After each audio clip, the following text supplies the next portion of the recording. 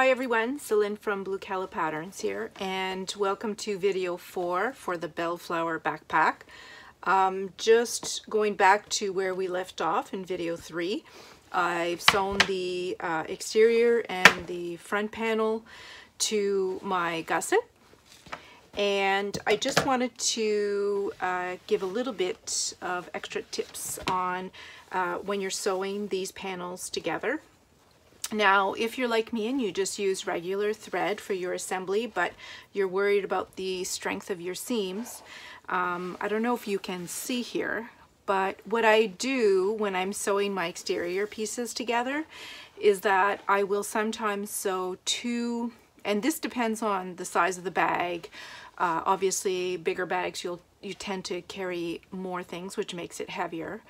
Um, I like to reinforce my seams by actually sewing uh, twice and you'll see it's about, they're spaced about one eighth of an inch um, apart. So it's just to make your seams a little bit stronger, especially when um, areas where you're sewing straps into the seam, it, it's helpful to make your strap stronger. Now in this the case of this bag, it doesn't really matter as much because the these bottom connectors were actually sewn onto the uh, the back panel of the bag. Uh, but anyways, um, this is what I do to make my seams stronger. And make sure you don't sew those too close together because if you're sewing them too close together, then you're probably uh, making the seam weaker, not stronger. So you just need to trim your seam allowance. And sorry to make you go through watching me do this. It's awfully boring.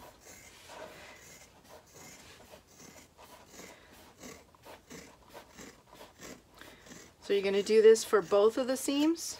And I'm cutting about, uh, I'm leaving about one eighth of an inch um, seam allowance from the, the, the second seam that I did.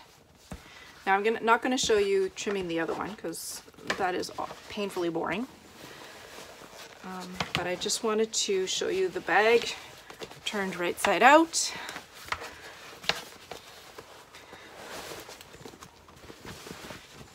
I'll turn it back after and trim the second seam, but I just wanted to turn it out so you could see the bag so far. And then, there you go. So obviously the bag is empty, so the flap is not fitting as well, but this is what we have so far a view from the back. So I will finish trimming that a bit later. Um, so for the, the, the rest of this video, we're actually going to be assembling the, uh, the lining pieces for our bag. So we're going to complete the entire lining assembly.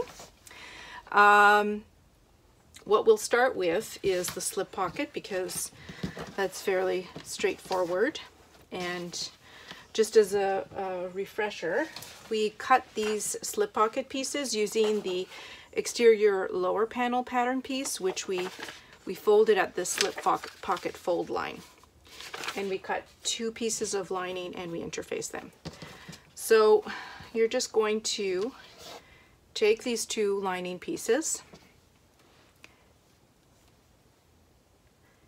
and you're just going to pin them right sides together.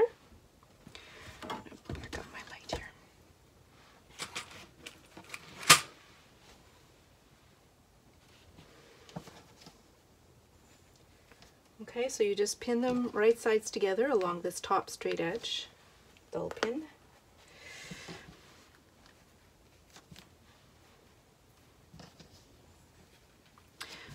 And then I'll go over to my machine and I'm going to sew along the top edge. And then um, if you remember when I showed you for the exterior slip pocket, once you've sewn this seam, I actually press this seam allowance open before I flip the, the, the panels uh, wrong sides together and then I press it again, uh, the, top, the top seam allowance. So I'm going to go ahead and sew this together now. All right, so the slip pocket pieces are sewn together. And like I mentioned previously, I start by pressing the seam allowance open.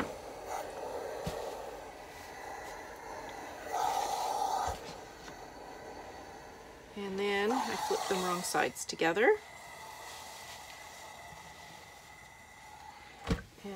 Press the seam allowance again. Okay, so now I'm going to go over to my machine and I'm going to top stitch along the top edge.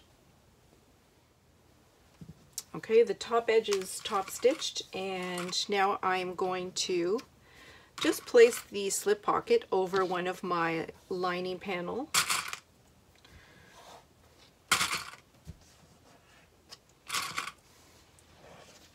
And I'm going to go over to my machine. I'm just going to baste it in place around all of the edges here before I, I separate it into two separate pockets. Okay, the slip pocket is now sewn to the lining panel and I want to divide this into two separate slip pockets. So all I'm going to do is I'm going to fold this lining panel in half vertically, wrong sides together. And then I just want to make a mark at the top and the bottom edge of the pocket. And then I'm gonna go over to my machine and I will start sewing from the bottom center mark all the way to the top. And then I'm going to back stitch at the top here. And then I'll have two separate slip pockets.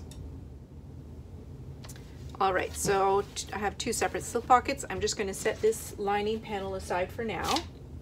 Um, before we assemble the second lining panel, let's just quickly um, sew our lining gusset pieces together.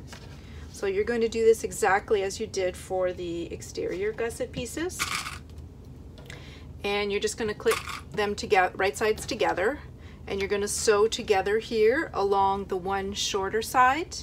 And then you'll press the seam allowance open and then top stitch along both sides of the seam uh, with about one eighth of an inch uh, seam allowance away from that seam.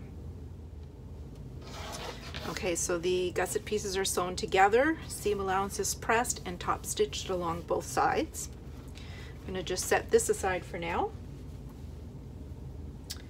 Now we're going to install our interior zipper pocket. So just grab the remaining pieces, except uh, obviously not the flap handle, but uh, your, your remaining lining panel, your two zipper pocket lining pieces, and your zipper pocket facing piece. So I'm gonna set these aside just for a minute. And I'm going to take my zipper pocket facing piece and I'm going to use my uh, my zipper template. I need a pen here. Okay, so for this bag I'm installing an 8 inch zip. So I'm just going to use my template to draw my box. So you want to draw a box on the wrong side that is eight inches wide by 3 eighths of an inch high. If you're using a, a, a thicker zip, like a 4.5 or a 5, then you'll want to make this box a bit taller. You'll want to make it uh, half an inch high as opposed to 3 eighths of an inch high. All right, so we're going to pin this, and now I, I forget. Um, where I said to pin it. Just don't want to give different advice. Okay, so two inches from the top edge, which is what I guessed. All right, so just make sure that it's centered in the middle and you want two inches of space here at the top. And then just pin, there's actually not even a sharp end whatsoever on this pin.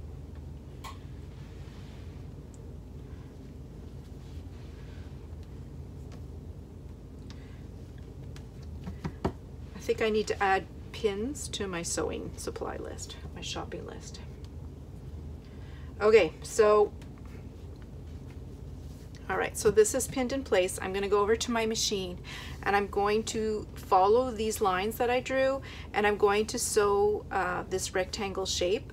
Um, I like to keep my needle in the down position so that when I'm uh, rotating at the corners, I just lift my foot and I can rotate and it just makes nice sharp corners um, for your rectangle, uh, your zipper opening.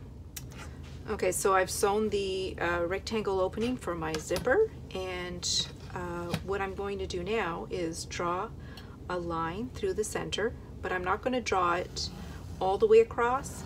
I just, I stop and start about half an inch from each end. And then I draw a diagonal line from that center line to each of the four corners. And these are just uh, cutting lines. So I usually use my rotary cutter here, which I know is brave, but this is what I do. So I cut the center line and then I cut the four diagonal lines. And when you're cutting these diagonal lines, you really want to try to get as close as you can to the corner without cutting any of the stitching. And this will give you a really nice uh, opening for your zipper. You need a really sharp pair of scissors to do this. If you use a dull pair, uh, you're going to find it really challenging. Okay, so I'm going to pause here and I'm going to bring my ironing pad over so that I can uh, show you how to press the, the zipper facing to the wrong side.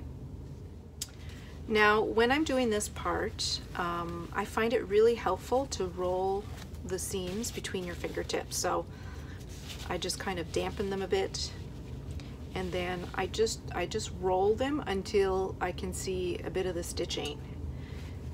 So I do this a little bit at a time. And you're sort of finger pressing the seam to kind of get it started. So I do a bit at a time and press.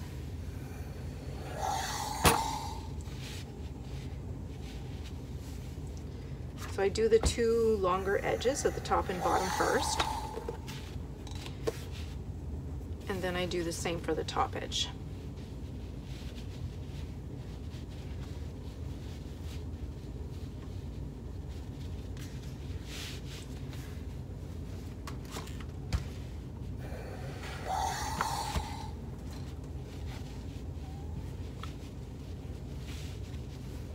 I don't like to rush this part. It's better if you just take your time and do a good job. Okay, now usually when I've done the top and the bottom, I'll turn it over and then I press again from the wrong side.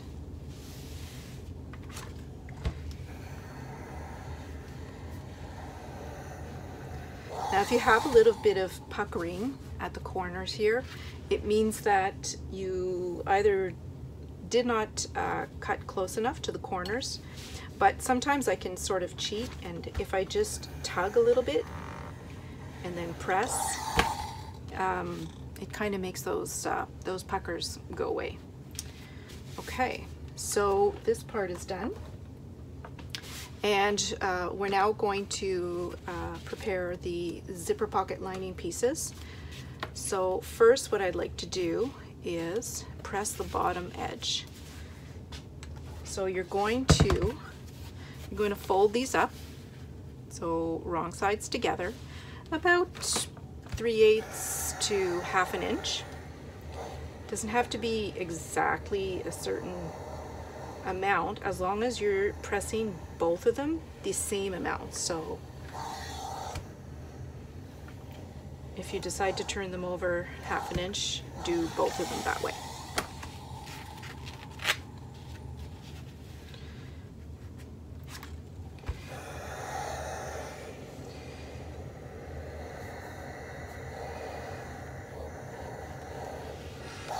Okay. Don't know why I had a weird pucker here. Fix this. Okay. So I'm going to take this out of the way.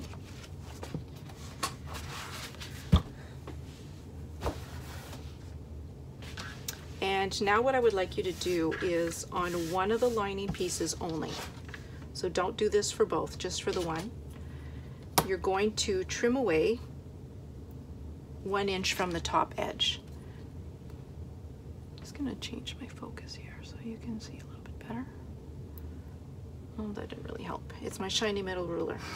All right, so I'm gonna trim away one inch at the top, turn this over, and then you're going to take your zipper and you're going to place the top edge of your zipper um, aligned with the top edge that you just cut from this uh, pocket lining piece and pin it in place. Um, I like to put my pull um, to the right in this step. Oi, I need new pins. Okay, so now I'm going to go over to my machine and I'm going to sew the zipper to this pocket lining piece along this top edge with one quarter inch seam allowance. All right, so the uh, zipper is sewn to the lining piece. Now you just need to press the lining piece away from your zipper.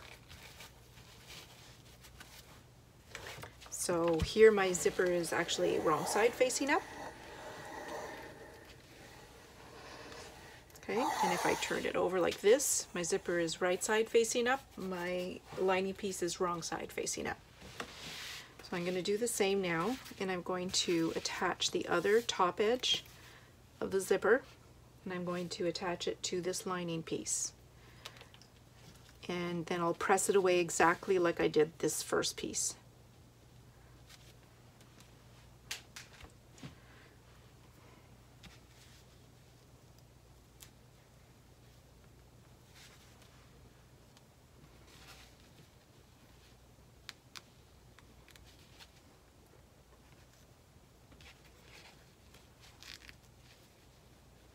Okay, so I'm going to go sew this in place again with one quarter inch seam allowance along the top edge. Okay, so I have two, my two lining pieces attached to my zipper. Now you may be wondering, has her zipper color changed? The answer is yes, it has changed. And the reason for that is because I realized as I was importing my clips that I was doing what I'm going to call reverse recording and I was pausing the video when I was trying when I was supposed to be recording and I was filming when I was not supposed to be filming. Anyways, I've recut all my pieces and resewn everything to my zipper. I have the shorter piece here, the taller piece here, and my zipper is right side facing up then you're going to take your lining panel with the rectangle opening and you're going to pin this in place. Now, if you prefer, you can glue uh, or use double-sided tape in this step instead of pinning. I usually pin at both ends and then I'm going to uh, sew with 1 8 of an inch seam allowance all the way around my rectangle and what I like to do is sometimes just ad adjust the position of everything so that my zipper is perfectly centered in the rectangle opening. Okay, so my zipper is attached. I'm going to flip this lining panel over and I'm going to bring this top folded edge down to meet the second folded edge at the bottom and I'm just going to clip these and what I'm also going to do very quickly is I'm going to go over to my ironing board and I'm just going to press this uh, upwards to make sure that my lining pieces are outside of my, they're away from my zipper so they don't get caught in my zipper. So I'm just going to do that quickly.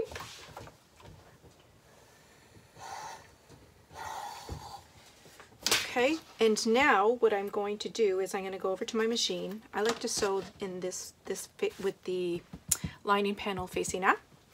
And I'm just going to flip it over like so, and then I'm going to sew along both sides. And you start at the top, you back stitch, you try to sew as close as you can uh, to your stitching here from your rectangle, uh, your rectangle box uh, top stitching you know sew all the way down to the bottom and then when you get to the bottom you back stitch again and you do that on both sides. Okay so um, I've sewn both sides. I'm just going to trim away a bit of this seam allowance but I'm not going to trim my zipper at all